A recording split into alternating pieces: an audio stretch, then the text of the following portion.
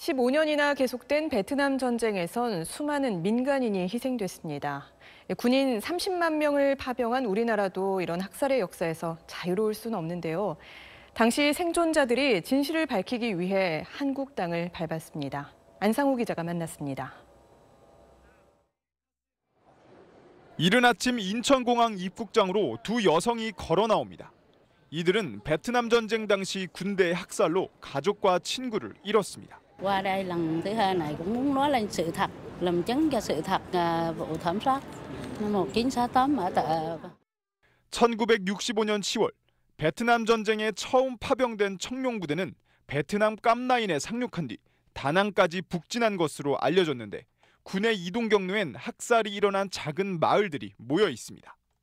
베트남 전쟁 당시 한국군에 의한 민간인 학살 희생자는 무려 9천 명이 넘는 것으로 추정됩니다. năm 1968, ngày đó tôi được 8 tuổi. Cuộc thảm sát của quân đội Hàn Quốc đã tước đi mạng sống của 5 người trong gia đình tôi. 피해자의 아픔을 털어놓기까지 쉽지 않은 여정이었습니다. 3년 전 처음 한국을 방문했을 땐 환영받지 못했습니다.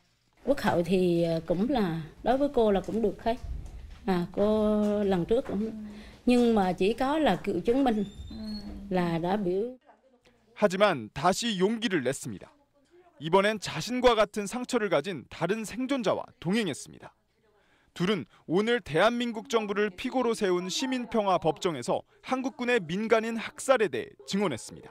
Có rất nhiều người Hàn Quốc muốn biết sự thật và người ta đã biết sự thật. Nhưng cũng có những người họ cố tình không dám.